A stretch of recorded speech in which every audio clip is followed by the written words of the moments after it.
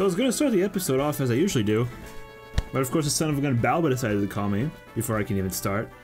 Oh hi Dan, this is Warden Baoba. We've come up with new objects. With these, you should be able to meet lots of different Pokemon. Do your best. Alright. Freaking idiot. I don't know why he just called me out of all of a sudden, but that's what he does. Anyways, hey everybody, it's Chris Time for welcome back once again to Heart Gold Soul Silver. We're here, um, doing stuff as per usual. Last time we kind of just spent, as far as I'm concerned, we... No, no, that was the episode prior to that. Last episode, we actually took on the Celadon City Gym, fought Erica, and absolutely destroyed that gym with, uh, with Bradley our Typhlosion, so that was really cool. Very fun uh, experience that was. But today, we have made ourselves uh, over here to... Is it going to show it? Route 17, in which this is Cycling Road. Cycling Road, as you probably remember from Fire Leaf Green, um, is a bicycle-only route. You can only use the bicycle here, you cannot uh, get off the bicycle. Unless you're playing uh, Let's Go Pikachu and Eevee, in which that case, the cycling route has changed immensely. I'll show a quick picture of it on the screen if I can find a full map.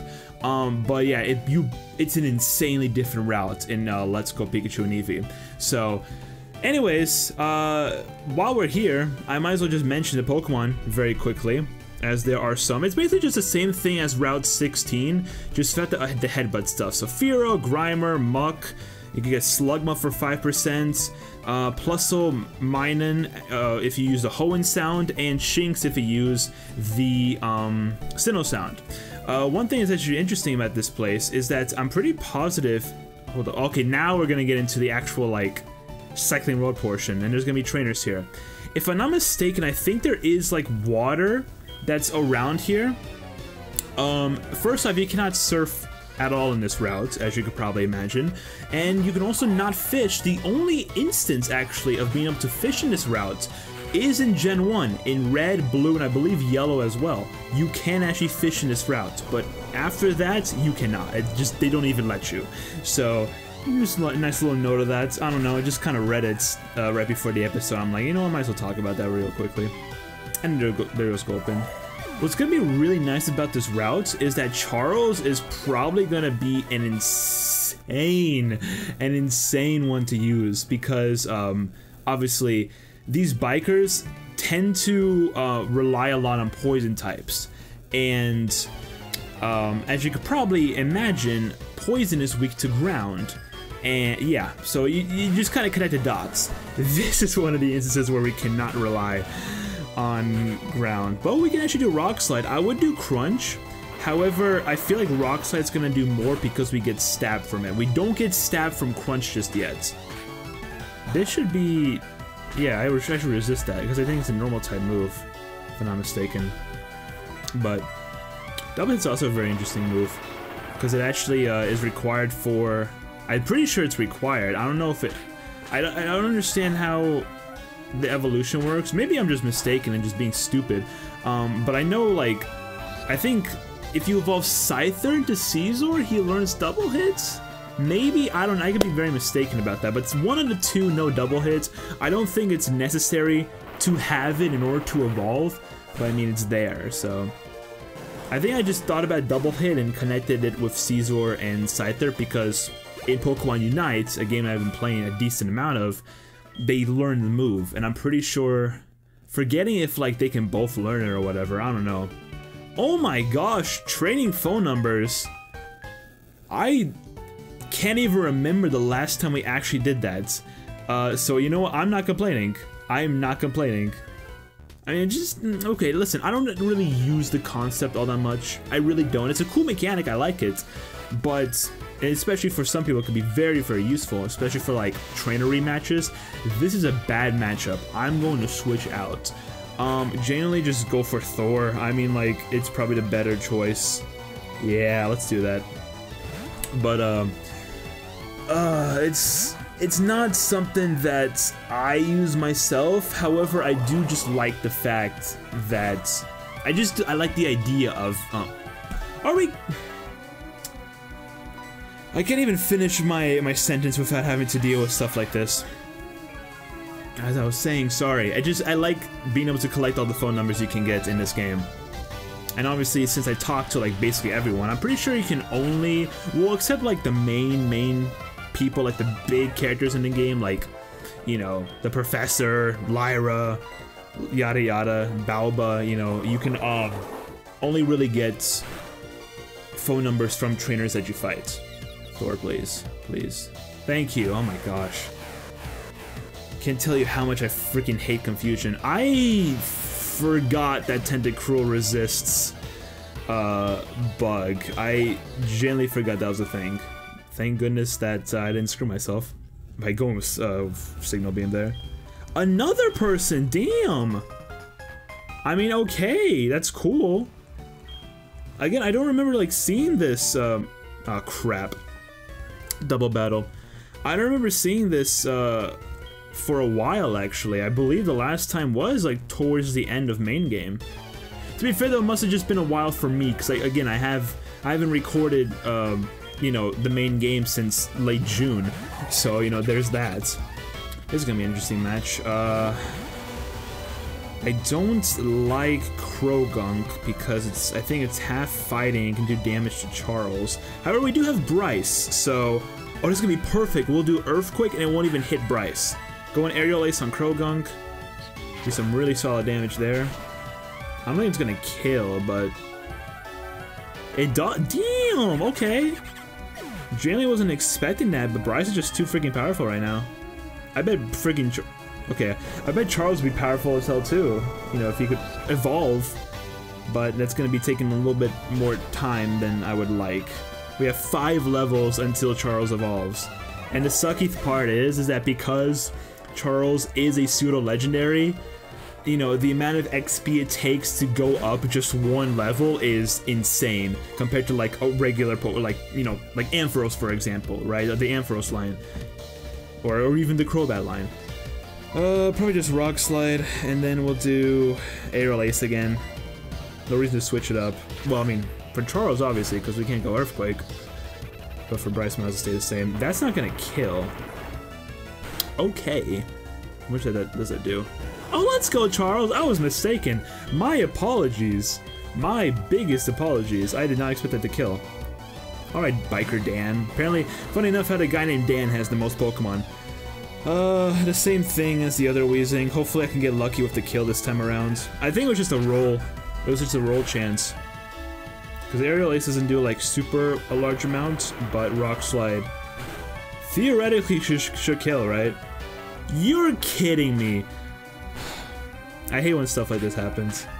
Every time I play through Pokemon, there's always that, there's always some instance, at some point, and it usually happens actually kind of frequently, um, where I tend to go for a kill and I hope it kills, and it should kill, but then the Pokemon just, the enemy just, you know, leaves off at 1 HP.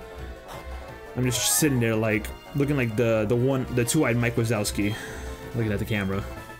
But, yeah, we did that though. Okay. So this is basically just gonna be a fighting episode, as you could probably imagine. This would be a perfect time to actually like talk to someone.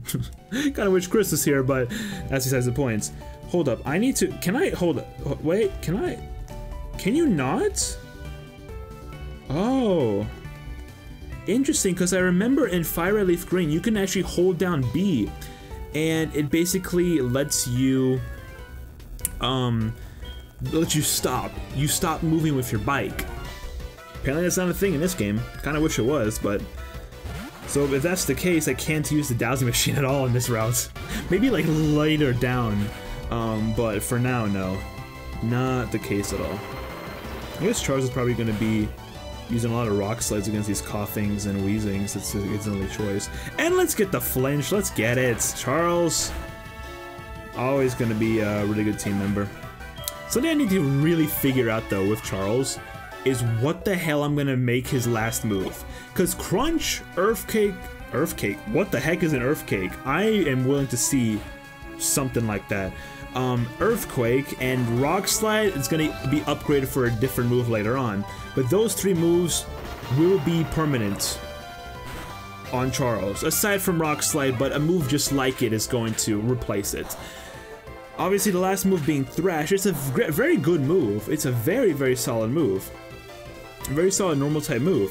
However, it's not one I want to keep, like, forever on Charles. There are there's one, I guess, kind of move that I want to teach Charles, or like a certain like set of moves, but I'm just needing to figure out which one of those that I want to use. There's also between like those and like Dragon Claw. Dragon Claw is another one I really want to teach on Charles, but I'm just like, do I really need it?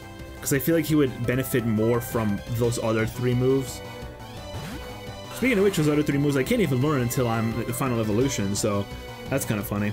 Oh, and here comes the Confuse Ray. Oh boy. Every, I'm pretty sure every Magmar I fought in this game has had Confused Ray.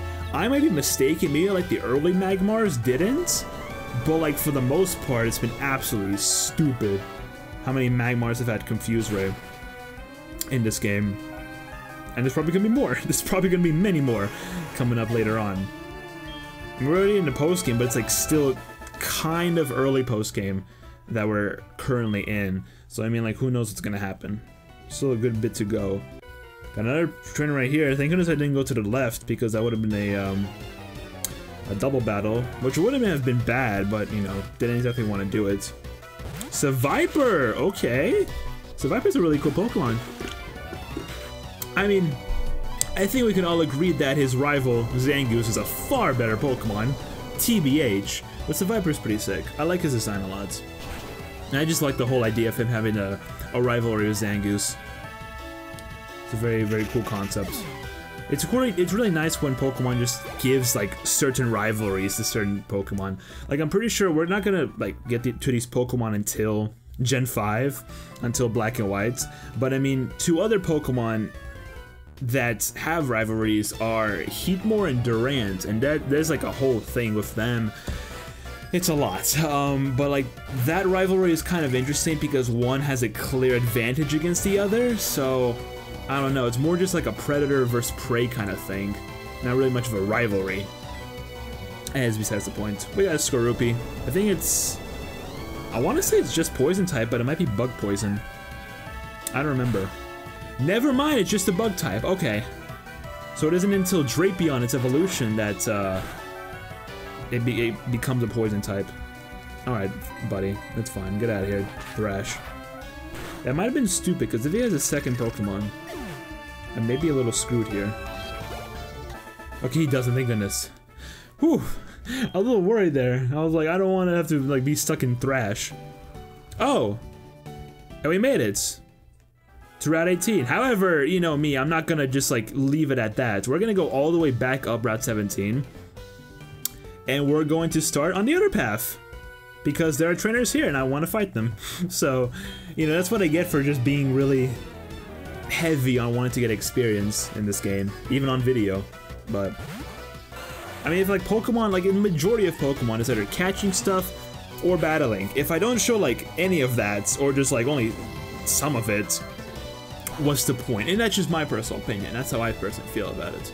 But maybe maybe you guys feel differently. I know like uh, many other PokeTubers or just people that have done Pokemon series on their channel on, on their channels, uh, they tend to skip a lot when it comes to like stuff in this game. They only, of course, leave in like gym battles, Pokemon League battles. Uh, a lot of time when they catch a Pokemon, I can understand like cutting out like wild Pokemon encounters, especially when it's just like a nuisance and you just don't really want like need if you're gonna run away anyways, then I can get that, right?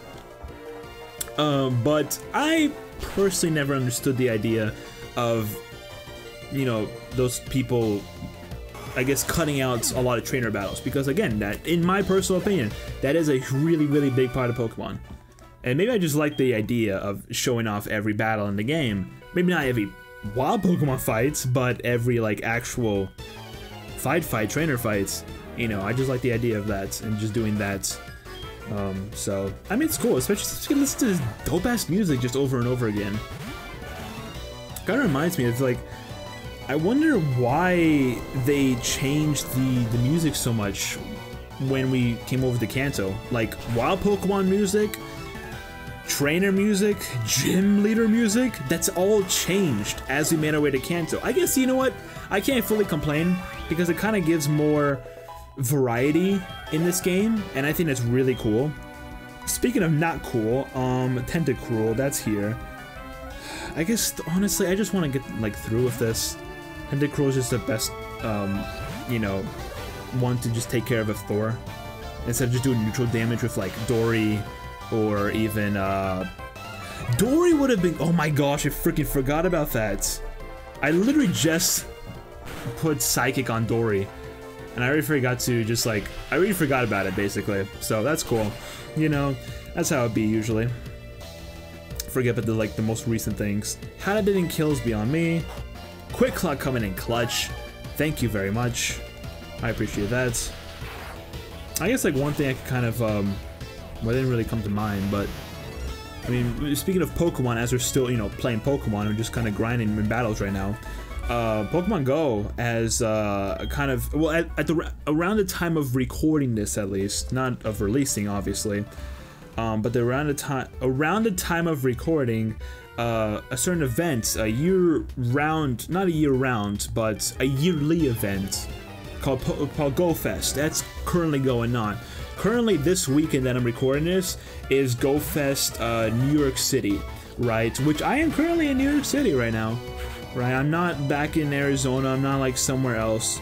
I'm like in New York City. I could have done this event if I really wanted to, um, as, especially since like plans for this weekend kind of fell through and I'm just kind of stuck at home all weekend as per usual. Um, but for some reason I just decided not to go for the event. I mean, because like next week, next weekend is going to be um, GoFest Global, the global event that can be accessed from anywhere, right? And I was mainly just like kind of preparing myself for that weekend instead of this weekend because I didn't expect myself to be free for this weekend. Um, but it kind of does make me regret not getting the ticket for um, for the event this weekend. But I don't know. It is whatever. I'm gonna do a bunch of grinding next weekend anyways. Because I think, if I'm not mistaken, uh, the event goes on from three for three days. It's from Friday in the morning to like Sunday in the evening. And uh, there's gonna be a lot of time to grind. I want to grind all three days, but Friday I feel like is gonna be a day where I can't exactly do much because I got a little bit of, you know, plans for that day. Uh, also, hey, another number, three numbers in just one route. That's kind of crazy. Uh, but then Saturday, Sunday is gonna be nuts, and I'm very, very excited about that. I mean, I would love to be, you know, release this before the event happens, but it's not going to happen at all in time. So, um, I mean, if you guys did by any chance do play Pokemon Go and did take care of Go Fest, let me know how it went. So I want to, I want to know your guys' opinions. If you even like, you know, did it. Uh, but yeah, we're almost done with this area. We're literally now around uh, seven, 17? Or we're on currently... No, around 18. We just did 17. Okay, I'm being stupid. We're uh, about to reach uh, Fuchsia. I might as well just... I mean, it doesn't even matter, like, not spoiling it, because we've been here before in the last game, so it doesn't really matter. And plus, they even, like, someone in the game said, hey, this is the way to Fuchsia. Have fun. So I'm gonna do that. Poison, of course. I hate that. Oh my gosh, it does so much damage. I'm gonna switch out. I'm gonna go to Dory because she has Psychic. He has Psychic. I forget Dory's a freaking male. Uh, I always associate Lapras with like the female gender. I don't know why, it's just something I do. But let's show Psychic for the first time. I mean, we showed it off uh, in the last game, Fire Red Leaf Green with Gengar because my Gengar had Psychic. And as you can tell, it's a very good move especially if it gets a crit. So that's really cool. At level 47, nice. I'm trying to figure out if I want to charm. Oh, perfect freaking timing. I wonder if uh, I want to teach Lapras one more move because obviously Psychic, Ice Beam, Surf, 100% keeping. My Lapras is a special attacker. These are the moves I want to have on it. Waterfall, however, is one I'm not 100% sure about keeping. Yes, there are still going to be instances where I need to use Waterfall, however, it's not as much of a necessity in this game as it is in other Pokemon games. Um, it's like I could, in theory, get rid of Waterfall and replace it with a move that Dory will have much more of a use for. Oh my gosh, I forgot about the poison. it just like exited my mind immediately. Alright, what do you have to say? Cycling is all uphill from this end is really challenging, although it may be interesting to go up once pushing really hard on the pedals. I mean, probably good exercise, but I'm not the one actually like in the game. Oh, we have a few Pokemon trainers here. We might as well take care of this before we end up today's episodes. And judging by their...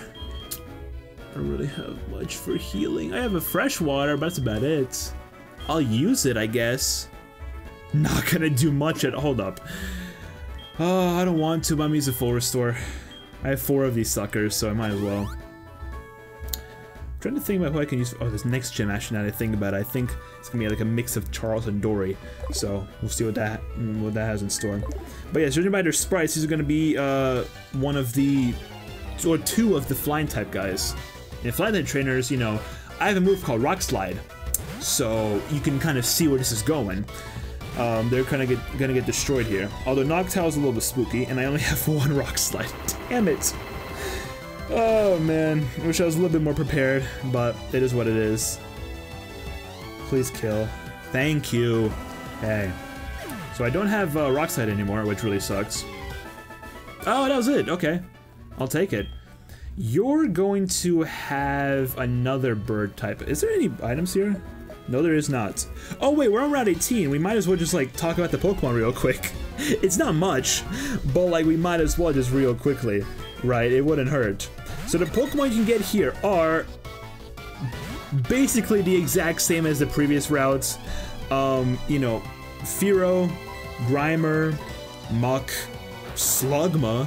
That's cool. Slugma 5%. Muk is actually interesting because he can be caught for he can be accounted for 5% um, in the date in the morning and the the afternoon, but at night he can uh, be caught at 15%.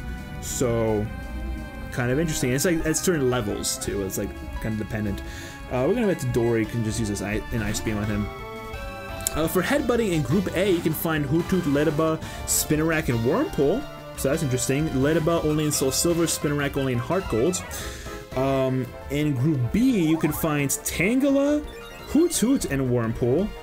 And for special Pokemon, the exact same as the previous two routes, plus Lone Minun for the Hoenn sound and Shinx for the Sinnoh sound. So, nothing really too special. It's a very short route anyways, there's like three trainers, a, a bit of grass and some trees and that's about it. Not no not items at all. So, not really much to really make note of. Because what's important is what's going to be happening to the right of this route. And we'll see that in just a moment. First, let me destroy this freaking Doduo with an Ice Beam. So, yeah, let me do that. What is going on outside? I don't think you guys can hear that. It's because of the music. Um, well, the in-game music and sounds. Uh, but like some idiots are like playing music, I think, out of their car. I'm just like, come on, at this time, what are you trying to do? Why, why are you trying to be a moron? But we made it to Fuchsia City, which is pretty cool. And we can go take on the gym right now. We're not going to, because, you know, we of course have to heal first, which the Pokemon Center is right here. And we're going to be ending off today's episode. So yes, thank you all so much for watching today's episode of Pokemon Heart Gold Soul Silver. In the next one, we will be uh, exploring Fuchsia City. We're going to be exploring the city first, I feel, and then taking on the gym. You know, I think just a nice chill episode again will be kind of nice. I don't know if we'll have time to take on the gym next episode. We can see. We'll find out. What? I'm Janine. Hocus pocus poof. See? I look just like her now. Huh? Didn't work? What the frick is Janine? I don't know a Janine. Hey, you have a Pokedex. Did Professor Oak get that to you? Yes, he did. What, did he? Was it Oak? Yeah, I think it was Oak. I was thinking if it was Elm, but I'm pretty sure it was Oak. I got quite a shock at the gym. There were all these girls who looked identical. Girls? What? No male gym leader, as it usually is in this game? Or in Kanto? That's gonna be very interesting, huh? Anyways, yeah, stay tuned for that. Subscribe, like, comment, all that good stuff. Social media, including Twitch, second channel, music channel, VOD channel, down below in the description. And, I mean, that's about it. I was gonna say Chris's stuff, but he's not even here with me. So, I'll see you next time. Pop Tart, out.